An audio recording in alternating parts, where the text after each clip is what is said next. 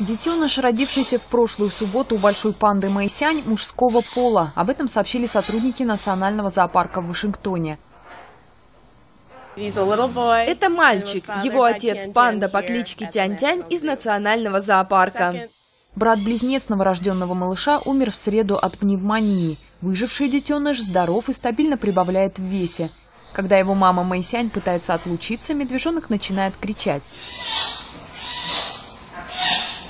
Сотрудники зоопарка говорят, что этим он хочет привлечь внимание матери и сообщить ей, что голоден.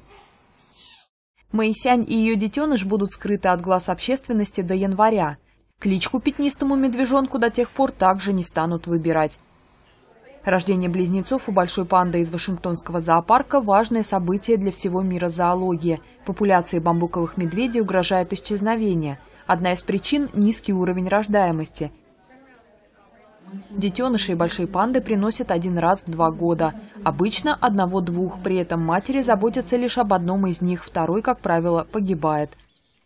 По оценкам специалистов, в дикой природе насчитывается около 1600 панд. В неволе содержится примерно 300 особей. Моисянь ранее уже становилась матерью в 2005 и в 2013 годах. Ее детеныш по кличке Бао-Бао отметил свой второй день рождения в прошлое воскресенье. Красная.